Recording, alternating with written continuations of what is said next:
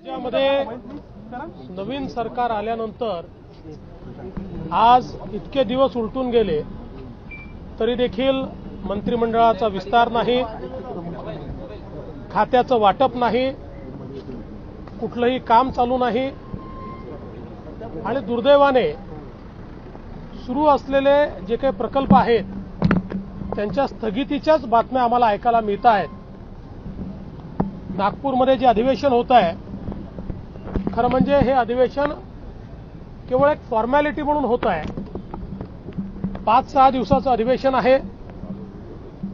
यात प्रश्न उत्तर नाही आहेत ते ठीक आहे. वेळ कमी असल्यामुळे कदाचित ते नाही आहेत.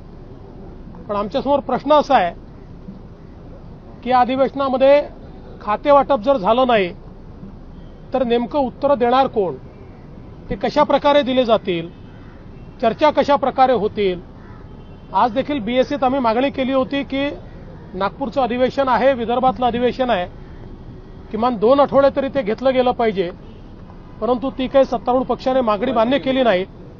आणि केवळ एकच दिव एकच आठवड्याचं पाच दिवसाचं सहा दिवसाचं ते अधिवेशन ठेवण्यात आलेलं आहे. आणि एक प्रकारची फॉर्मॅलिटी ही केवळ त्या ठिकाणी केली जाते आहे. आमची अपेक्षा अशी आहे की या सरकारने तात्काळ खाते वाटप करून किमान महाराष्ट्रामध्ये जे काम वेगानं चाललं होतं ते वेगानं सुरू केलं पाहिजे. सर्वात महत्वाचं असं आहे की आज इतके दिवस उलटून गेले तरी देखील शेतकऱ्यांना जी मदत मिळाली पाहिजे ती मदत मिळत नाही आहे ज्या वाढीव मदतीची मागणी माननीय मुख्यमंत्री महोदयांनी यापूर्वी केली होती काँग्रेस राष्ट्रवादीनी केली होती ती मदत देखील मिळत नाही आहे या सरकारला आम्ही पूर्ण सहकार्य करायला तयार आहोत. सरकारने तात्काळ ही मदत त्या ठिकाणी द्यावी.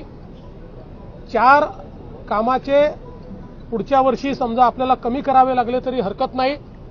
पण शेतकऱ्यांची जी मदत आहे ती तात्काळ सरकारच्या माध्यमातून मिळावी अशी माझी अपेक्षा आहे.